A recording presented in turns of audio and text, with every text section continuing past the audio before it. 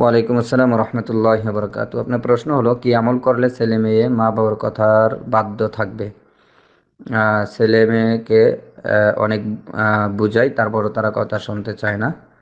তো আপনি সুরায় ফুরকানের যে আয়াতে সন্তানকে কুরতা আইন বানায়ানুর জন্য আল্লাহ আমাদেরকে দোয়া শিক্ষা দিয়েছেন, সেটা পড়েন।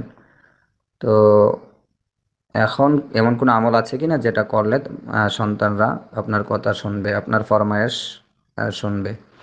আলহামদুলিল্লাহ ওসালাত ওসালাম আলা মাল্লা নবী বাদ বাদ। খুবই গুরুত্বপূর্ণ একটি প্রশ্ন।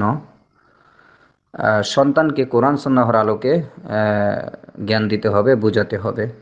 মা বাবার অবাধ্য হলে কি পরিণতি হবে এবং মা বাবার অবাধ্য হলে বড় হওয়া যাবে না। এবং মা বাবার দোয়া না থাকলে সন্তান কোনোদিন সফল হতে পারে না। এই বিষয়গুলো কোরআন সন্ন্যাহর আলোকে তাদের সামনে তুলে ধরতে হবে মোটিভেশন করতে হবে। আশা করি ইনশাল্লাহ যদি কোরআন সন্ন্যাহর আলোকে তাদেরকে বুঝান, তাহলে ইনশাল্লাহ তারা পরিবর্তন হবে, তাদের মাঝে পরিবর্তন আসবে।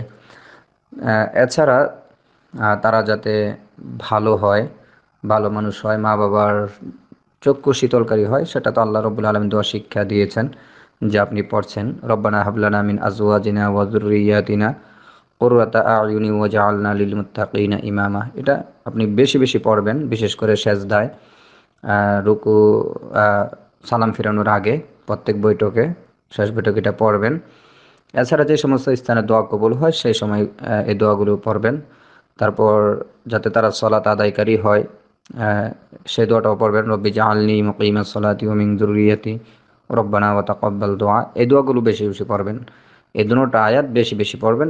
বিশেষ করে যখন দোয়া কবুল হয় শেষ রাত্রিতে আজান এবং একামতের মধ্য খান সময়ে, তারপর বৃষ্টি, বর্ষণ হওয়ার সময়, অর্থাৎ যে সময়গুলোতে দোয়া কবুল হয়, বেশি বেশি দুইটা আয়াত পাঠ করবেন। ইনশাল্লাহ একদিন একদিন দোয়া কবুল করবেন এবং আপনার সন্তানদেরকে আপনার জন্য চক্ষু শীতলকারী বানিয়ে দিবেন ইনশাআল্লাহ। আশা করি বুঝতে পারছেন, আল্লাহ আলম।